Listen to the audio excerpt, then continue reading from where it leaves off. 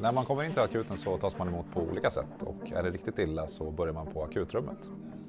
På akutkliniken jobbar väldigt många olika professioner. Sekreterare, undersköterskor, sjuksköterskor, läkare. Arbetet handlar också om att bemöta anhöriga och akutkliniken har en anställd kurator som jobbar med krishantering. Eh, jag själv är sjuksköterska med eh, specialistutbildning inom akutsjukvård och har varit så sedan två år. Jag har jobbat på akuten i sju år. Det är ju ytterst utvecklande, det är det. Ehm, att tvingas vara flexibel när man ställs inför olika utmaningar eller patienter eh, utvecklar en som person och som yrkesperson varje dag. Under alla de här åren har man ställts inför eh, många lätta men också väldigt tuffa utmaningar så att de man jobbar med blir väldigt nära en. Eh, man behöver vara som en liten familj och kunna lita på varandra för att kunna lösa olika sorters problem. Om man bedöms vara allvarligt sjuk och i behov av till exempel andningsstöd så kan det hända att man förflyttas upp till IMA. Eh, IMA är en del av akutkliniken också. De patienterna som kommer till oss på intermediärvårdsavdelningen är i ett stort behov av högre vårdnivå.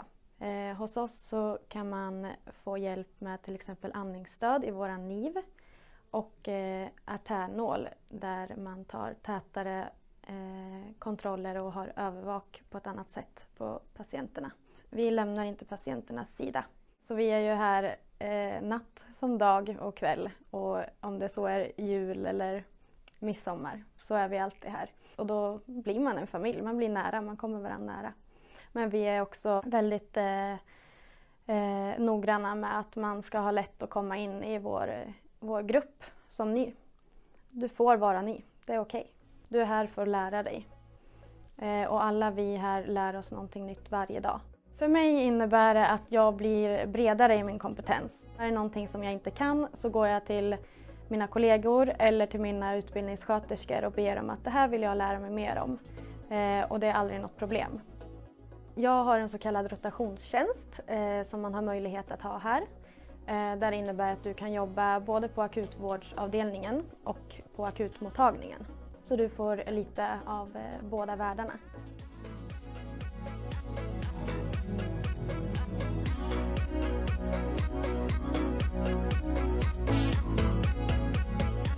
Det är inte så läskigt som det låter eller verkar. Det är mer, eh, det är bättre än vad man tror. så jag tog examen i januari och började här redan i februari. Eh, och jag kände ju redan när jag hade praktik här att jag fick den hjälp jag behövde. Även fast man var ny så fanns det alltid någon att fråga. Liksom man, man blir omhändertagen och får alltid hjälp om man behöver något. Och man bryr sig om varandra. Vi hjälps åt allihopa.